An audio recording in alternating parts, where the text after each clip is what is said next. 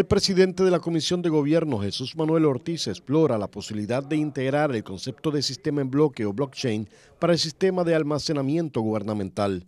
Se suma a ello la aprobación de la utilización de las monedas digitales, una propuesta a tono con la tecnología y retos del siglo XXI.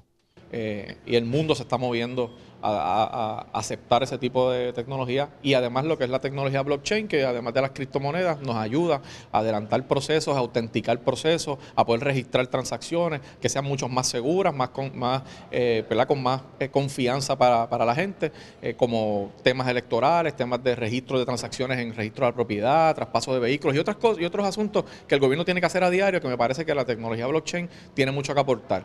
Por ello, un proceso de vista pública en donde se intercambian o debaten ideas con funcionarios del gabinete ejecutivo.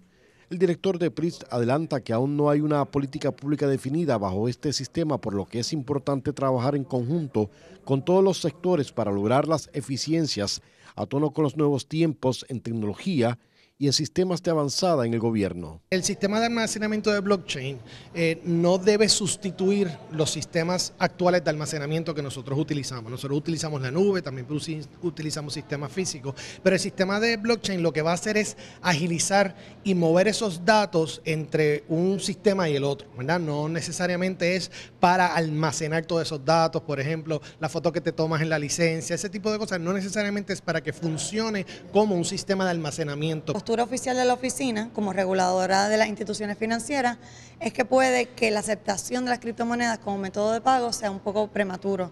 Eh, nosotros tenemos una jurisdicción eh, que es un sistema financiero dual de ley federal y ley estatal, y esto es un campo que se va a ocupar por ley federal muy prontamente. El FDIC ya dijo que durante el 2022 van a estar emitiendo sus guías. Obviamente el gobierno federal tiene un rol importante aquí, hay reguladores como el IRS, ¿verdad? que, tienen algo que decir sobre esto y Puerto Rico está muy atento a lo que el gobierno federal trabaje con el tema de las criptomonedas. Pero eso no significa que como gobierno no comencemos a discutirlo. Esta discusión se está dando apenas en pocas jurisdicciones en los Estados Unidos. Puerto Rico es una de ellas.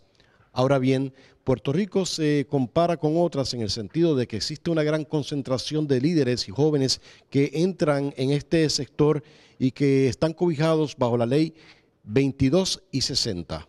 Jorge Negrón y Félix Alemán, Noti 360.